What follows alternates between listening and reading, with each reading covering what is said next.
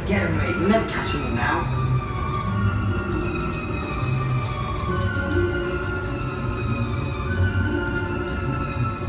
Spiders? No, they're British, actually. Did you really have to do that? Honestly, Ron, they're just sweet.